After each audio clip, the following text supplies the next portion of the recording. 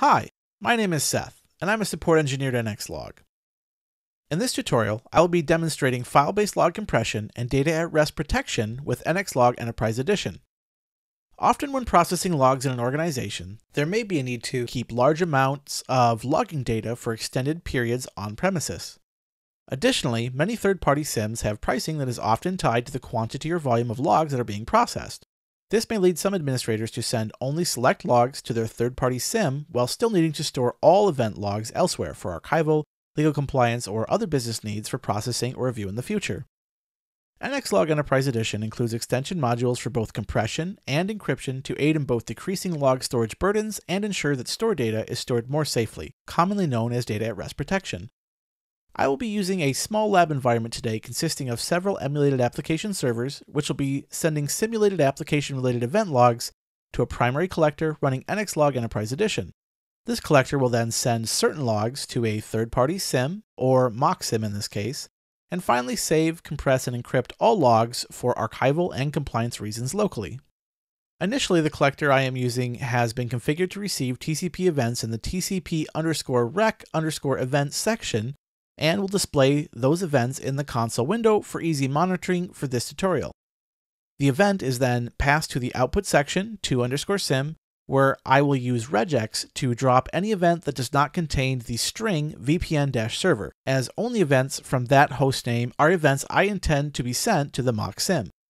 I will now launch NXLog Enterprise Edition with my initial configuration with the "-f and "-c argument used to run NXLog in foreground mode, and with a custom configuration that I have specified initial.conf. On the right, the mock SIEM begins receiving VPN events, as it should. I'm going to stop collecting events with NXLog now.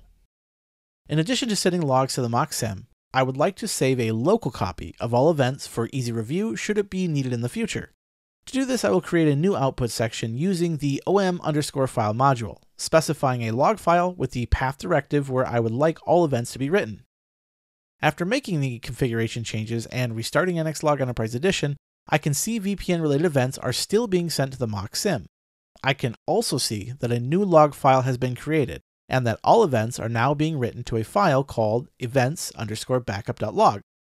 Once again, I'm going to stop collecting events with NXLog Enterprise Edition. Now that I'm saving all events locally, I have two possible concerns. The first and most important from a security perspective is that I now have a file that may contain information that should remain secured and protected even in the event of a systems breach. The second issue is that as time goes on, the number of events captured may become a burden on storage availability.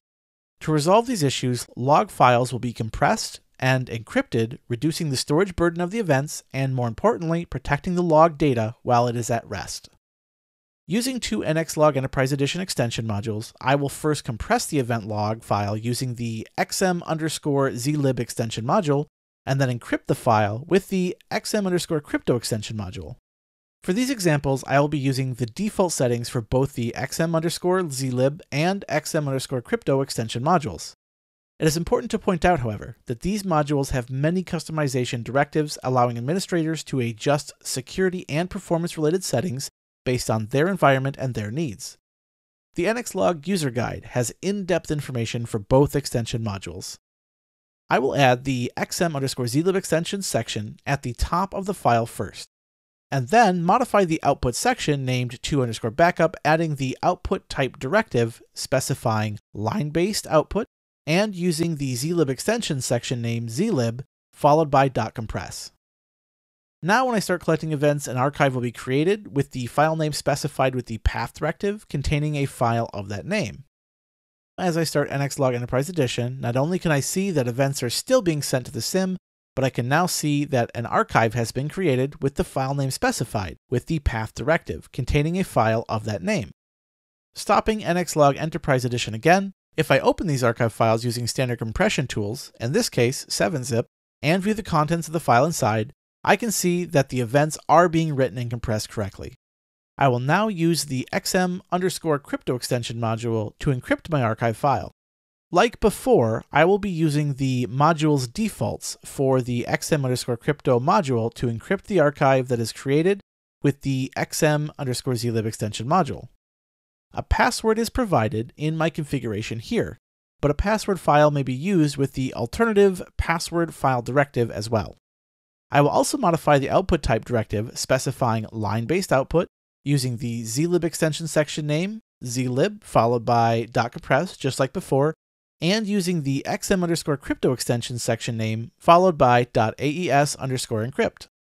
Starting NXLog Enterprise Edition with this configuration, I now see I have an encrypted, compressed archive. We can check the contents of this file, and indeed see that not only is the file not recognized as an archive file, but that it has been encrypted successfully. I have now achieved all of my goals. Select events are still being sent to the mock SIEM, a copy of all events is being stored locally, and the locally stored log file is both compressed and encrypted, providing a lighter data storage burden and providing data at rest protection. Now that I have an encrypted archive, when needed later, I will be able to decrypt and decompress it for review. One thing to note is that there is no requirement to use the xm underscore zlib extension module or the xm underscore crypto extension module together. An event file can be compressed, encrypted, or both as needed. On that note, I will show how I can decrypt this file. Because NXLog uses open source standards such as AES, as well as several open compression standards, NXLog is not required to decrypt or decompress these files, though it can be used to do so. I will demonstrate two methods for decrypting and decompressing this newly created file using both the included NXLog processor binary with a custom configuration file, as well as with OpenSSL and 7-zip, which are third-party utilities. Unlike standard NXLog configuration files, I will be using a configuration file intended to be used with the NXLog processor binary included with NXLog. Once again, I use the xm underscore zlib and xm underscore crypto extension modules in this configuration. In the input section, I will be using the im underscore file module to read my encrypted and compressed file. I will be specifying an input type similar to that used when writing a compressed and encrypted file, but in reverse, first using the xm underscore crypto module section name, crypto, but this time with the .aes underscore decrypt method call, and using the xm underscore zlib module section name, zlib, but this time using the .decompress method call. Finally, using the om underscore file module, I will write my events to a file named decom underscore decrypt.log in the output section. I will now run the nxlog processor with the dash c argument and specify the decrypt.conf configuration file. After running, I can see the file decrypted does have the events that I expected it to have. I'm now going to use OpenSSL to decrypt the same file and then 7-zip to extract the archive so that I can review the events. With OpenSSL, I will be using the ENC argument used for various encryption and decryption tasks. Then the -AES256 argument for the encryption standard used, -D argument for decrypt, -MD SHA-256 to create the key from a passphrase, dash pass with the pass colon quotes my password to encrypt with quotes, which was the password that we encrypted the file with, to specify our password string, the dash in argument followed by the file name to be decrypted, and the dash out argument with the file name of the output file, which will be the decrypted decompressed event file name. Now that the archive has been decrypted, it can be extracted with most decompression software. Here, I am using 7-zip, but the majority of decompression utilities will be able to decompress this file. If I now open the log file, I can see my events, just as when I used the NXLog processor to decrypt and decompress the encrypted file. This concludes the tutorial Stored Log Compression and Data at Rest Protection. If you have any questions or would like to request a trial of NXLog Enterprise Edition, you can do so online by visiting nxlog.co forward slash request dash trial or contact our pre-sales team at presales at nxlog.org. I'd like to thank you for joining me for this tutorial. I hope it was informational and enlightening, and I hope you have a wonderful day.